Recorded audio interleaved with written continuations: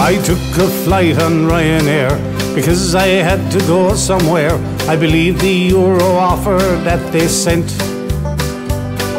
But oh boy, did I get it wrong because I missed that small word from. It started at a euro and up it went. And they'll charge you if you check in at the airport. And they'll charge you if you want to take a bag. You can only buy the cheap flights on their website. But they charge you more to pay by credit card. They charge you if your bag weighs slightly over. They'll charge you if you tick priority.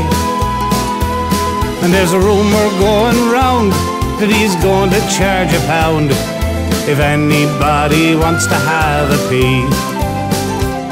Thought I was flying Ryanair, or am I flying Lion Air?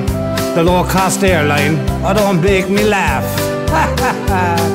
Be careful when you book your flight, cause if your money's kinda tight, O'Leary will find ways to take your cash.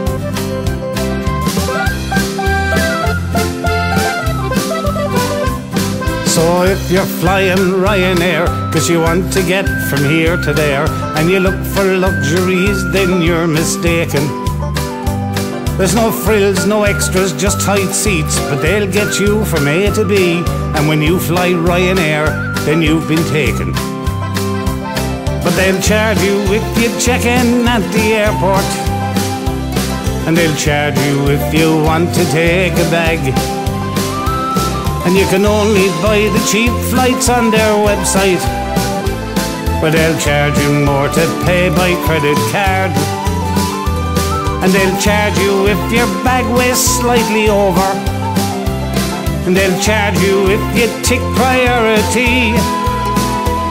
And there's a rumor going round that he's going to charge a pound if anybody wants to have a pee. So if the price is up or down and you want to get around, I bet you'll keep flying Ryanair like me.